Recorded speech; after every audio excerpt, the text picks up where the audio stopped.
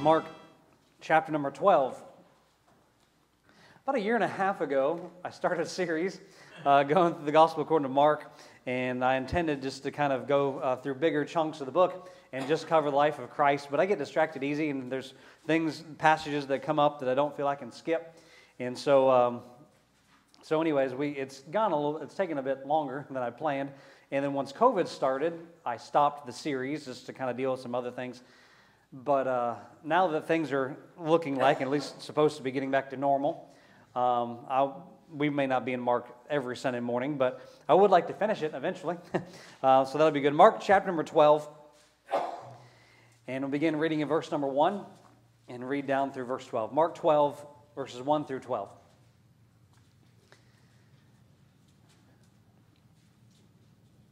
Jesus says, well, we've beginning of verse number one says, And he spake, and he began to speak unto them by parables.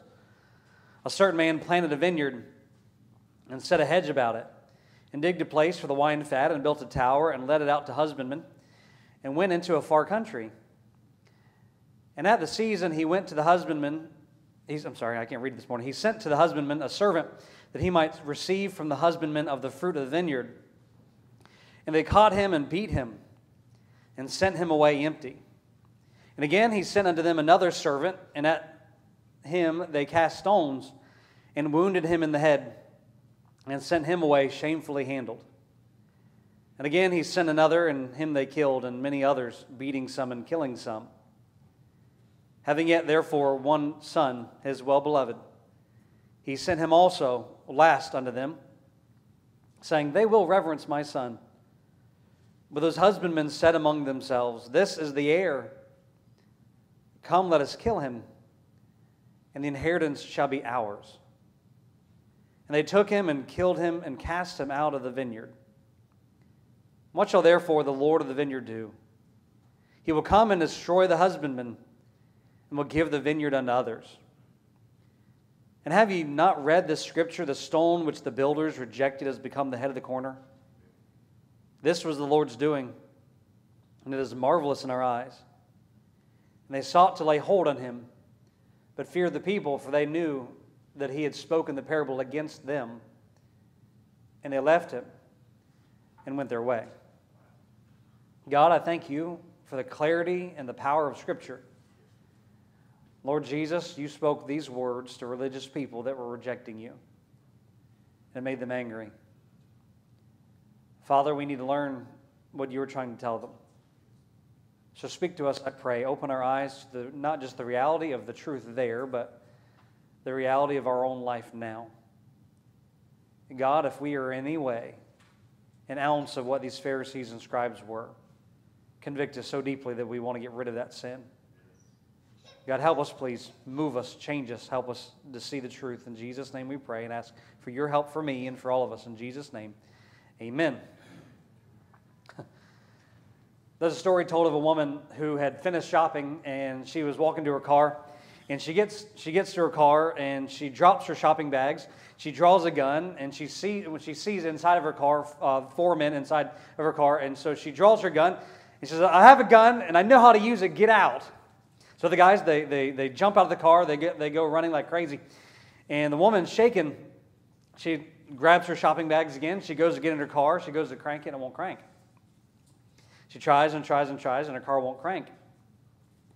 She gets out of the car and she looks, and five spaces down the way was her car. She got in the wrong person's car that looked just like hers.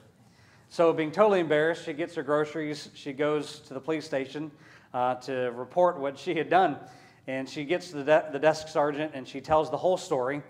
And uh, he's dying laughing at the story. And just down the way from this lady and the desk sergeant are those four men uh, they were scared um, out of their wits because she pulled a gun on them. And because they're all laughing at the story, they decide to not file any charges and they let her go. The whole moral of that story she tried to take something that was not hers. She was fully convinced, at least she didn't mean wrong, she was fully convinced that what she had was hers and belonged to her. And so she tried to take it and it didn't work out for her. That's kind of what was going on in this story here, spiritually speaking, but on a much more serious level. We, as well as the audience of Jesus' uh, they, we understand, I think, what Jesus was trying to say. Uh, we can become convinced that something is ours, but truly it belongs to somebody else. In summary, our life is not ours, our life is God's. Our time is God's. Everything we have belongs to the Lord, and He deserves, He rightfully deserves, to have ownership and control of all of it. In Mark 12, Jesus, he's been facing verbal attacks and arguments by the scribes and Pharisees and the religious leaders. Now, there's lots of religious people, but the religious crowd that find themselves to be superior. And they're, they find themselves to be superior because they live by higher standards. Again, just because you live by higher standards doesn't make you more spiritual, especially when you make up the higher standards. The, the, the, the object of our life, the goals of our life, to be obedient to Scripture, and with the Holy Spirit's help, we can do that. The goal is not to be weird, the goal is not to just live by rules, but the, the goal of our life is to, is to love and obey God. So the scribes and Pharisees, they had the rules, but they didn't have the Lord. And that was one of their problems. So Jesus, he, he tells this, this parable to them to make a point of not just a, a scary story, but to tell them what they are. And they don't like it. You can find that at the end. They sought to lay hold on him. They wanted to arrest him, and we find there's several occasions, not just here, but there's at least three occasions where they try to capture Jesus and kill him. The third time at least the last time we know it actually worked, although Jesus gave up the ghost, but they arrested and, had, and they had him killed. But he tells the story. We'll back up in a minute and we'll tell the, the parable. But in verse number 8, speaking of himself, it says, And they took him, the son, and they took him and killed him and cast him out of the vineyard. So Jesus is prophesying about what's about to happen to him. And then the question don't ask this morning, what will God do? Verse 9, what shall therefore the Lord of the vineyard do? When the, when the prophets that come, I'm getting ahead of myself, but when the preachers come, the prophets come, when, when the master sends somebody to get what's rightfully his, when the master, when the Lord sends somebody again and again and again to get, to take control of what's rightfully his, and they reject and they fight and they reject and they fight, what will the Lord do? What shall therefore the Lord of the vineyard do? He will come and destroy the husbandman, will give the vineyard unto others. I want to show you three things from this parable. Number one, the doctrine. Number two, the duty. And number three, the danger. I want us to understand what the parable here is speaking of. That's the most important thing to understand a Bible passage. Before we know what it's saying to me, I have to know what it said there. So that's really important. So let's talk about the doctrine of this parable. Again, a parable is a heavenly story with an earthly meaning. A heavenly story with an earthly meaning. Jesus used parables oftentimes to share a deeper truth, um, or uh, to share a deeper truth that they just weren't getting. Sometimes Jesus would teach a parable, he'd explain the meaning of the parable, and they still wouldn't get it. Even, you know, sometimes they're as dumb as we can be. Uh, at least, maybe not you, but me. Uh, but Jesus was sharing a parable with, with, uh, with his followers. Remember about the, the, the, four different times, types of ground, the good ground. And Jesus explains it, and they're still like, we have no idea what you're trying to tell us, Jesus. So, uh, but sometimes that happens. But sometimes parables were used just to simply make a, a, a truth more understandable. Verse number one, and he began to speak unto them. Who's the them? The them is the, the audience or is the rejecting Pharisees and scribes. So and he began to speak unto them by a parable. A certain man planted a vineyard and set a hedge about it, and digged a place for the wine fat, and built a tower, and let it out to, hus- to husbandmen, and went into a far country. If this parable sounds somewhat familiar to you, just a few weeks ago in our revival meeting, this parable was mentioned from another passage. And we'll go to Isaiah 5. Go, go ahead and turn to Isaiah 5 and we find the kind of the root of this parable. Sometimes Jesus would teach a lesson or he'd share a parable, and it was and it was not new. It may be new to us, um, but with the Pharisees here, they knew this story, and the reason why this story was so hard hitting and why this parable was so convicting is because the Pharisees they knew exactly what Jesus was trying to tell them. There was no hidden meaning really. Jesus made it clear. But by the way, before we get to, to reading in Isaiah 5, verses 1 through 4, let me tell you uh, kind of a hint. When you're studying your Bible, especially the, uh, the gospel records and the parables, um, be careful in trying to pull a hidden meaning out of everything. sometimes it means exactly what it says, you know? Um, but be careful when with parables to find every detail, like what does the wine fat mean and what does, uh, what does the wall mean? You could, you can make preaching out of anything if you really try, but don't go any further than what Jesus did. That's a good clue. Be very careful taking doctrine out of a parable where that doctrine is not found anywhere else in the Bible. The parables do teach doctrine, but make sure it's rooted somewhere else. So you're not just so you're not the master of the doctrine that's being taught. That makes sense. But in isaiah 5 we find the meaning of it. Isaiah 5 verse 1 says now will i sing to my well-beloved a song of my beloved touching his vineyard my well-beloved hath a vineyard and a very fruitful hill he fenced it and gathered out the stones thereof and planted it with the choicest vine and built a tower in the midst of it and also made a winepress therein and he looked that it should bring forth grapes, and it brought forth wild grapes. And now, O inhabitants of Jerusalem and men of Judah, judge, I pray you, betwixt me and my vineyard. What could have been done more to my vineyard that I have not done in it? Wherefore, when I looked that I should bring, when it should bring forth grapes, brought it forth wild grapes. Now I will tell you what I will do to my vineyard. I will take away the hedge thereof, that it should be eaten up and break down the wall thereof, that it should be trodden down. We'll stop there. Jesus teaches here, and oftentimes in the Gospels about a vineyard. He uses vineyards sometimes to picture other things. But sometimes, or a lot of times in the Old Testament, Jesus used trees or fruit to illustrate his own people. Sometimes it was a fig tree, sometimes it was an olive tree, sometimes it was a vineyard, grapes, a vineyard, uh, where they'd get grapes. In Isaiah 5, God, he's teaching, he says, You're the vineyard and I expected good fruit to come out of it. I wanted grapes, and I got the wild grapes. Brother Weedo preached on that, so I won't repreach it. Uh, but that was the point. But who is, so the vineyard was the nation of Israel. Here in, in, in Mark, the vineyard is the nation of Israel. More specifically, he's aiming at the leaders of Israel, those religious leaders, but the vineyard is Israel. But who's the master of the vineyard? Who is the owner? Who is the boss? Who is the one that planted it? Who is the one that put them there? God is the man, God is the Lord of the vineyard. So we need to understand that. Number one, God, under the doctrine, God is the man and the Lord of the vineyard. God is the boss.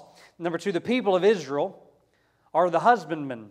They're the, they're the vineyard, they're the ones that are supposed to make the fruit, but they're also the husbandmen. They're the ones responsible to get fruit. So the fruit makers, the vineyard and the husbandmen, are the people, people of Israel. The master says, I'm putting people in charge to get fruit and I expect fruit out, out of my vineyard. They're supposed to grow fruit. They are the workers entrusted with something. Back in Mark 12, verse 2. And at the season, he sent to the husbandman a servant that he might receive, the hus- of, receive from the husbandman of the fruit of the vineyard. And they caught him and beat him and sent him away empty. Then we find in verses 2 through 5, he did it again. He sent a servant, and they'd beat him. He sent another servant, and they'd kill him. He sent another servant and they stone him. And again and again, he kept sending servants to go to the husbandman and say, It's time for the fruit to come. I want to see spiritual fruit come out of your life. I want, I want something to show for my investment in you. And they wouldn't do it. They had, by the way, they had fruit.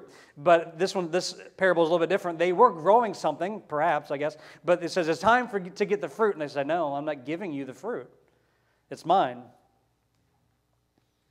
So God's desire then was for his chosen people, his vineyard, and his husbandmen to produce fruit. Well, what is the fruit? To honor his word, to worship him in a way that pleases him. For their daily life, not just in the building, the worship place, but in their daily life to please him, to obey the scriptures, to bring him glory. So he sent a servant there to check on them, to collect them, to send a message that it's time to get fruit. But they rejected him. The Lord, so the man, I'm sorry, God is the man and the Lord of the vineyard. Israel and the leaders, they are the vineyard and the husbandman.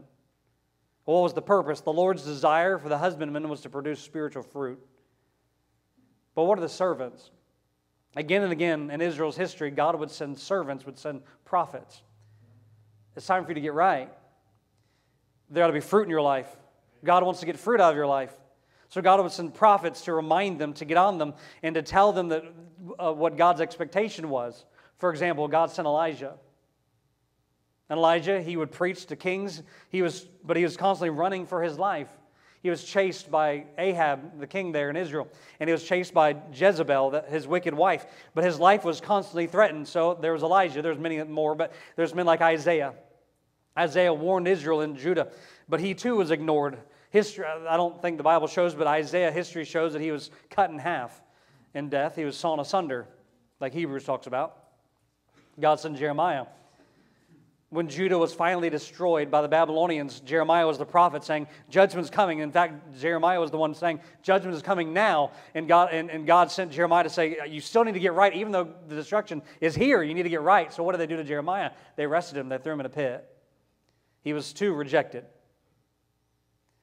There's prophet after prophet in the Old Testament, but then there's another prophet sent in the New Testament. There was John the Baptist.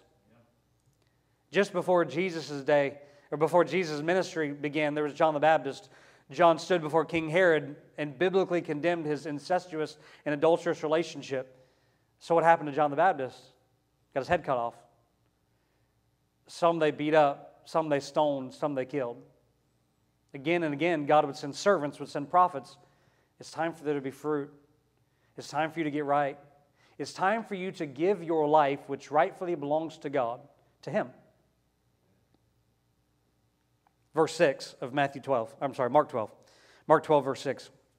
Having yet therefore one son, his well beloved, he sent him also last unto them, saying, They will reverence my son. But those husbandmen said among themselves, This is the heir. Come, let us kill him, and that the inheritance shall be ours. He sent a prophet, he sent a preacher, the Jews wouldn't listen. For centuries, God sent prophets, He sent preachers, but they wouldn't listen. He says, I'll try one more time. I'm not going to send a prophet this time. I'm going to send my son. Maybe, surely, they'll listen to my son. They'll listen to the only son, the only begotten son of God. Maybe they'll listen, but they didn't. Let us kill him, that the inheritance shall be. What's that last word? If you would look there, the last word of verse number seven, our, the inheritance may be ours. I will keep what I want. I'm not giving it back to God. I'm not giving it back to the Father. I'm not giving it back to the Master there. I will keep what's, what I feel is mine. Jesus, he's the Son. Jesus came to Israel to warn them. He was, there was prophet after prophet after prophet. Now Jesus came to, to get them to come back to God, to help them know God, but he came into his own and his own received him not. He came and he was the perfect example. He was and is the Word of God made flesh, but they rejected him. And they would, Jesus says they would re- reject the Son and they would kill him. That happened had not happened yet in Mark 12, but Jesus was about to be arrested and was about to be killed and crucified for them. He says that God sent his only Son and you'll even reject him. God's desire for his own people was to help them bear fruit, to bring him glory, to hear his word, to follow the word of God, to learn the truth, to believe the truth, to be saved and live for God, but they wouldn't do it. So, what would he do? What shall therefore the Lord of the vineyard do? He will come and destroy the husbandman, will give the vineyard unto others. We'll get to we'll talk of this more later, but God's judgment did come to Israel even after this day. And God did set them aside. Why is it that most churches are filled with Gentiles and not Jews? It's not that they don't have an opportunity. But God, for a time, has set them aside. They're not completely replaced, but God does emphasize the Gentiles. God says, I will set them aside and give my work to another. And He did. So, number one, there's the doctrine. Number two, let's look at the duty. Back in Mark 12, verse number two, it says, And at the season he sent to the husbandman a servant that he might receive from the husbandman of the fruit of the vineyard. So when Jesus gave this parable, he was speaking to a group of religious leadership leader Jews that would not believe and would not follow Jesus. This is interesting. Uh, uh, this parable is terribly hard or strong and convicting. But there's a parable that was mentioned before it in Matthew's gospel that's not mentioned here that adds greater strength and piercing to it. Let's go there. Matthew 21. Matthew 21. Sometimes, by the way, you know this by now, while you're finding Matthew 21. Sometimes, uh, not every book shows the same stories. Not every book shows the same parables. So it's not that they're incomplete. It's just different writers, different human penmen. Didn't, uh, God didn't lead them to include every detail. Um, if He did, there would be four completely copied books, right? So, Matthew 21, there's greater emphasis of different things in here, and aiming to Jews in, in Matthew. But Matthew 21, in verse 28,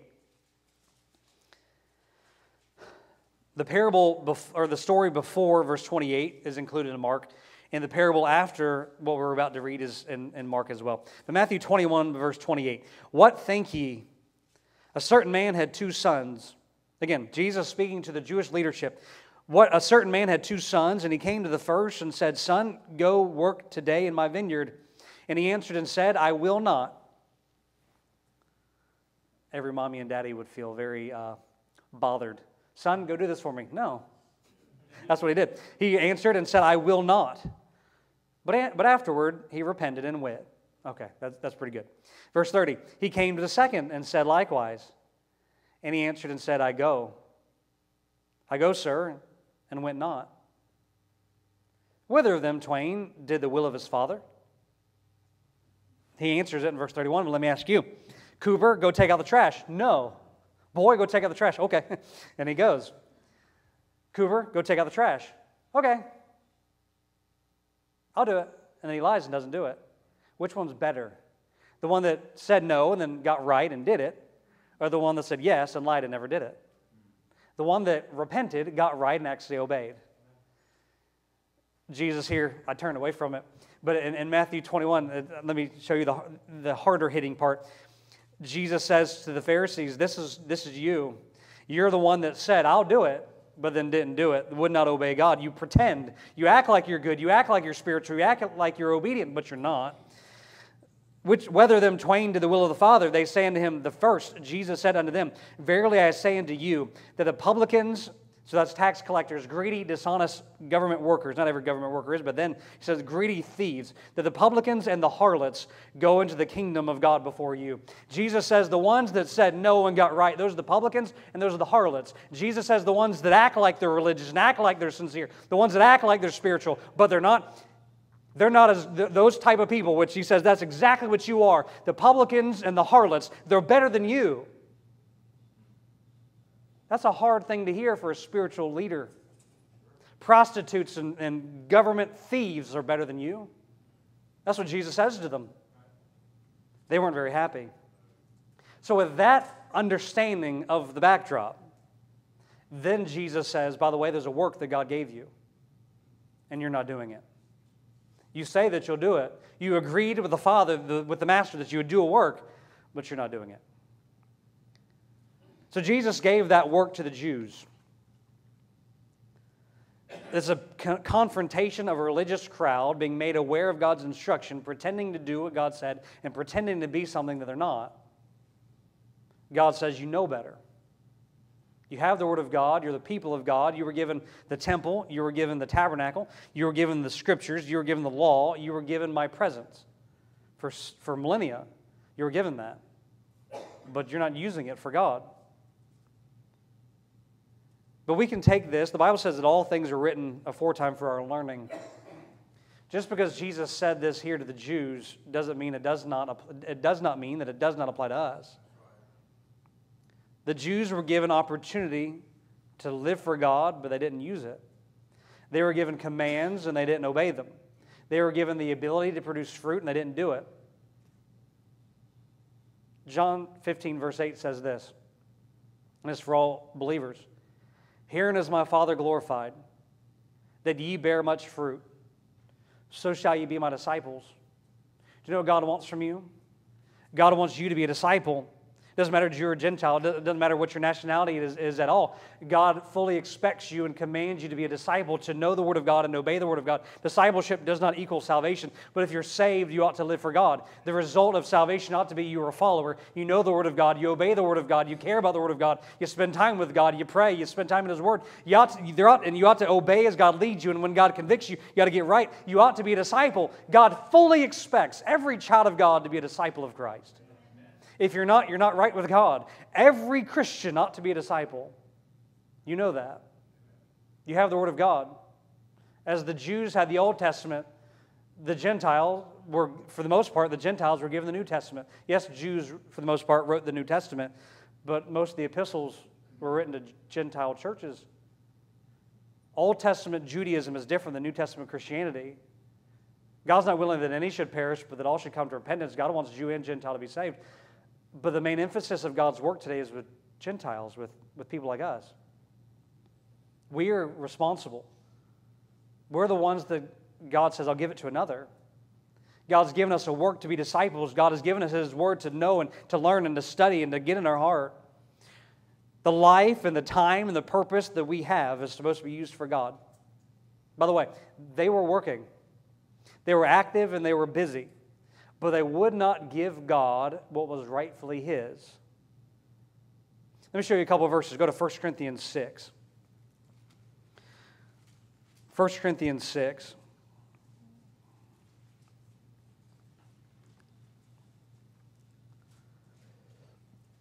And then after this, we'll go to Romans 12, but 1 Corinthians 6 and verse 19. What? Know ye not that your body is the temple of the Holy Ghost, which is in you? In other words, the temple belongs to the Holy Ghost, it's His. Know ye not that your body is the temple of the Holy Ghost, which is in you?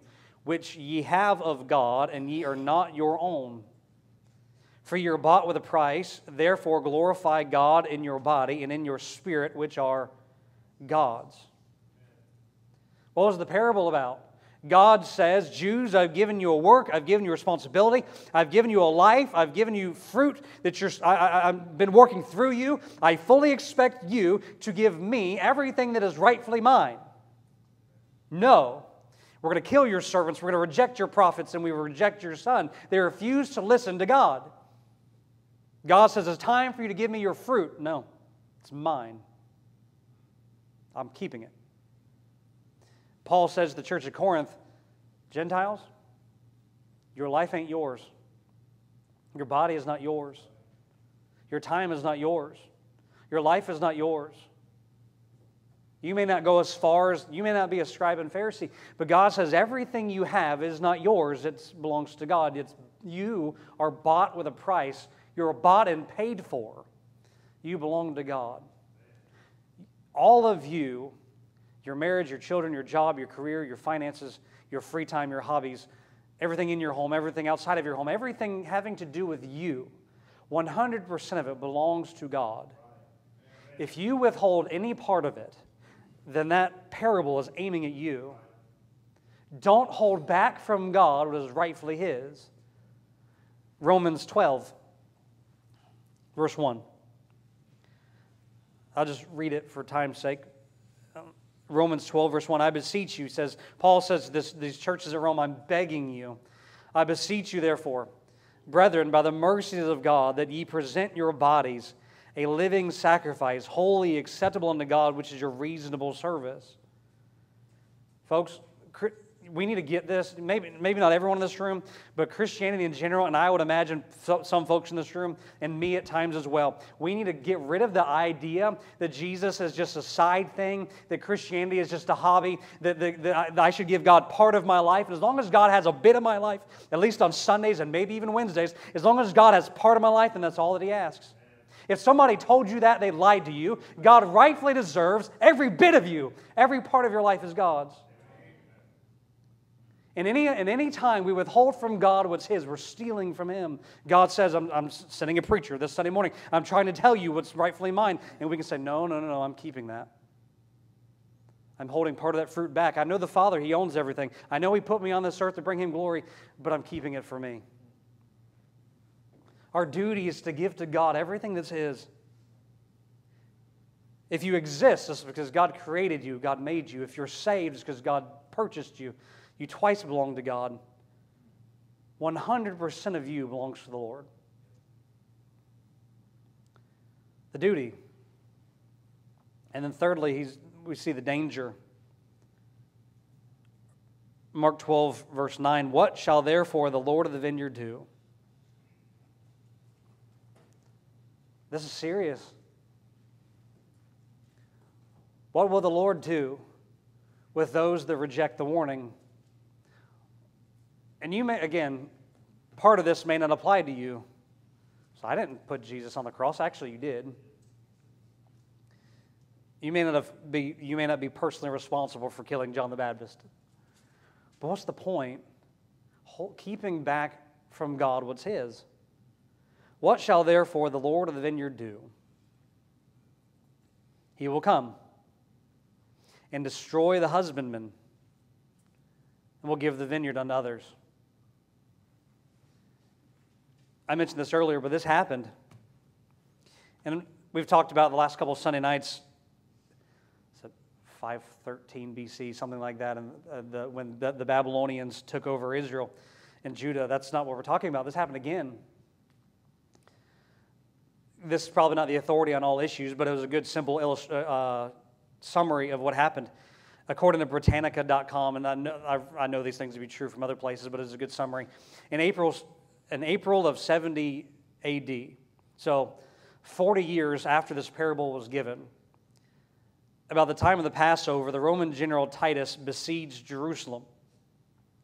Since that action coincided with Passover, the Roman pilgrims allowed, I'm sorry, uh, the Romans allowed the pilgrim there, the people there, to enter the city, but refused to let them leave, thus strategically t- depleting food and water supplies within Jerusalem. Within the walls, the Zealots, a militant anti Roman party, struggled with other Jewish factions that had emerged which weakened the resistance even more. Josephus, a, a Jew who had commanded rebel forces, but then defected to the Roman cause, attempted to negotiate a settlement. But because he was not trusted by the Romans and was despised by the rebels, the talks went nowhere. The Romans encircled the city with a wall, with a wall cut off to supplies, and thereby drove the Jews to starvation. there's more detail, but in 70 AD, Jerusalem was destroyed. Jews were killed. They rejected. Jesus said, Jesus told them before that the temple would be destroyed. That's what he's talking about. He will come and destroy the husbandman. That's what he's talking about. They rejected Jesus, so he set them aside. What Britannica.com doesn't know is the motive, the reason. It wasn't just military, it wasn't about land, it was about God. They rejected God in their life. They would not obey Him, they would not receive Jesus. So Jesus was, God set them aside. Again, now God focuses on the Gentiles, preach the gospel to every creature. We, have the, we are the benefit of the Jews' rejection. But let me show you another verse. Go to the end of the Bible, Revelation 2.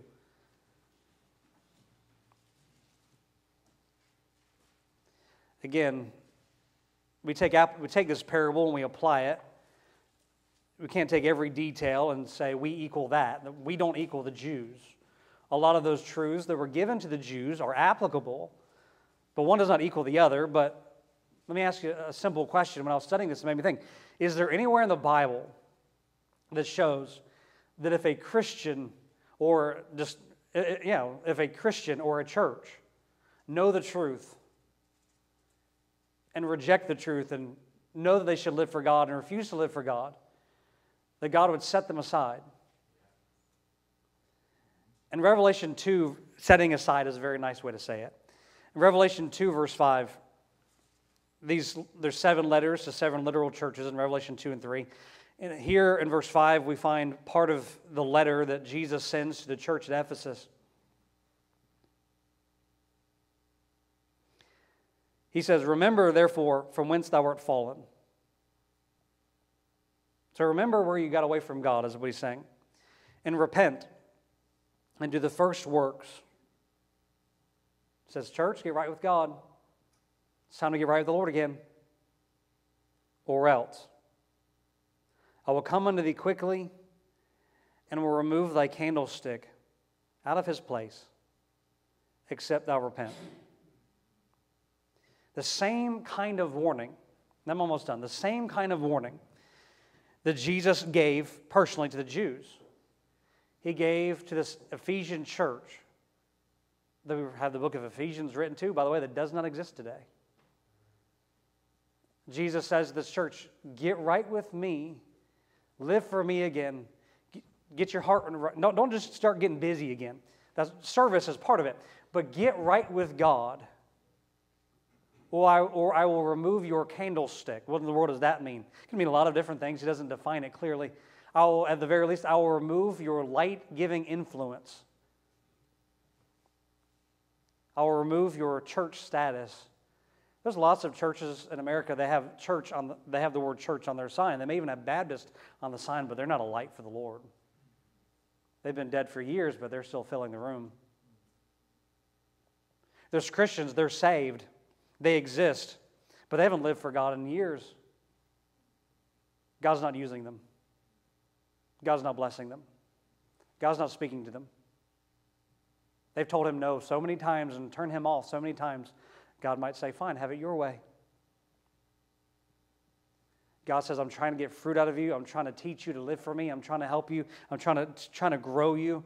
And we can say no, no, no, and God can say, fine. I'm going to, I'm not, it's not, it's, it's not talking about losing your salvation. It's not talking about a saved person going to hell. He's saying, I'm just going to be done with you. I'm going to set you aside and find someone else to be used. Our light can be extinguished as a church the light of our church can be extinguished if we become a church full of part time Christians that aren't really concerned about living for the Lord. We can be that. Jesus said that to that church. Why, why is that one special? Why are we special? Again, this is a serious warning today. This is what the text was. Jesus wasn't playing, he wasn't joking around. But God gives us a warning. You may be religiously minded, like the scribes and Pharisees. God may be part of your life. You may live by somewhat high standards. You may live in a, with a bit of Christian culture, with a Christiany type background. You're here today, you at least do that. But God is not asking for you just to show up for an hour or two throughout the week for church. God is looking for you to give 100% of you to God because you are rightfully His. Anything less is thieving, robbery from God. So God looks at you today Where's my fruit? It's time. It's time for, I'm looking for fruit today. I, I want to see you living for me. By the way, there is a reaping day, there's a rewarding day coming when we will stand before the Lord and, where's my fruit? What did you do for me? But our lives ought to be wholly, 100% dedicated to God. From the top of your head to the bottom of your feet, for God. From the time you get up in the morning to the time you go to bed at night, for God. Every ounce of you, everything you own, everything in your control for God. I'll end with this. Is, is, is that your life? Does God have every bit of you? He ought to.